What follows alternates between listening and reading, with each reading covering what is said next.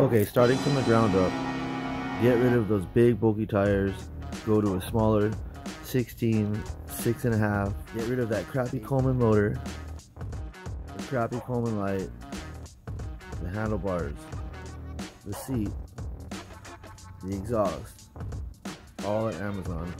Harbor Freight for the motor.